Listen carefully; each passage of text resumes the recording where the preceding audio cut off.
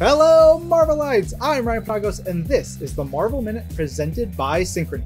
Start those stopwatches and get ready to take some notes because it's time to count down the news.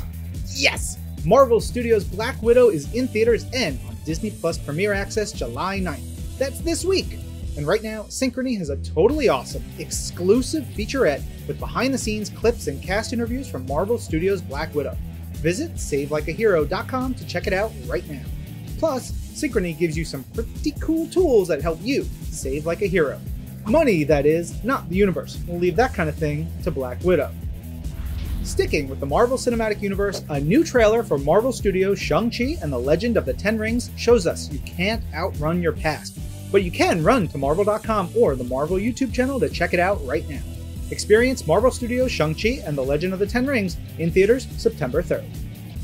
And of course, don't get tricked into missing this Wednesday's new episode of Marvel Studios Loki, now streaming on Disney Plus as we near the finale. Glorious.